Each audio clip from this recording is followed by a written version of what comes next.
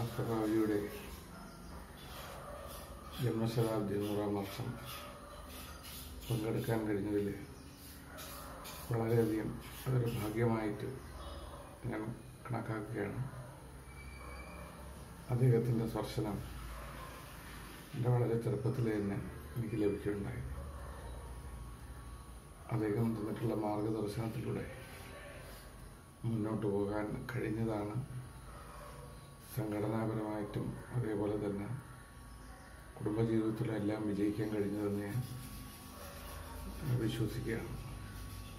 ഇത് കണക്ക് അനുഭവമുള്ളവർ നൂറുകണക്കിന് ആയിരക്കണക്കിന് കുടുംബങ്ങൾ കേരളത്തിൽ ഉണ്ട് എന്നുള്ളതിന്റെ തെളിവായിരുന്നു ജന്മശതാബ്ദിയിലെ ഭാസ്കരീയത്തിൽ നടന്ന പരിപാടി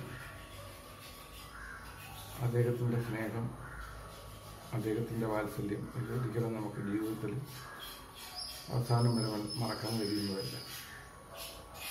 അദ്ദേഹം രണ്ട് മൂന്ന് തവണ എന്റെ പ്രദേശത്ത് വരെ എന്റെ വീട്ടിൽ താമസിക്കുകയും ചെയ്തിട്ടുള്ള അനുഭവം അതൊക്കെ ജീവിതത്തിൽ ഒരിക്കലും മറക്കാൻ കഴിയാത്ത അനുഭവങ്ങളാണ്.